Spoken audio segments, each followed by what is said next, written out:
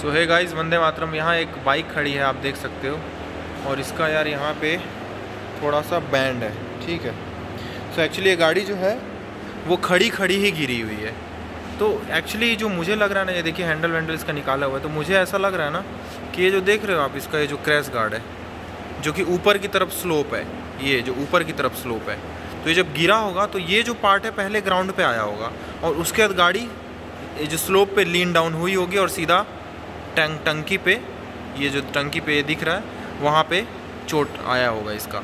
सो मैं आपको यही रिकमेंड करूँगा कि जो क्रैश गार्ड आप यूज़ करते हैं, वो बहुत सोच समझ के कीजिए, क्योंकि गाड़ी का ऊपर एक्चुअली टैंक को भी बचाना है तो ये जो पार्ट है जो कि निकला हुआ है, ये ऊपर रहना चाहिए। बटरफ्लाई मॉडल जो आते हैं, उस टाइप से। या फिर जो भी रखें तो ऊपर का पार्ट जो है, या तो इक्वल रहे या फिर ऊपर का पार्ट ज़्यादा उठा रहे, ताकि गाड़ी गिरे तो ऊपर लग जाए। वापस ढल के वापस, इस पर क्या है कि यहाँ से सीधा ढलेगा और सीधा इसका असर टंकी पे आएगा।